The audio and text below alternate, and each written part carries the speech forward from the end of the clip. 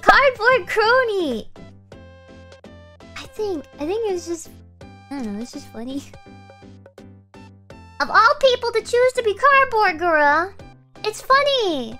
Because Kronii, I don't know, it's just, it's funny. and Kronii's great. And I think the song that we ended up doing in the end was a really good choice. I think it really fit both of our voices. And it was fun playing around with Cardboard Kronii. Yeah.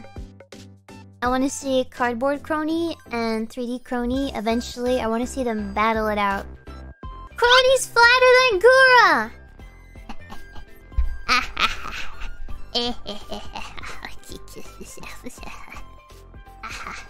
Look. We should change this to... Where is it? Where do I eat? Absolutely eat it!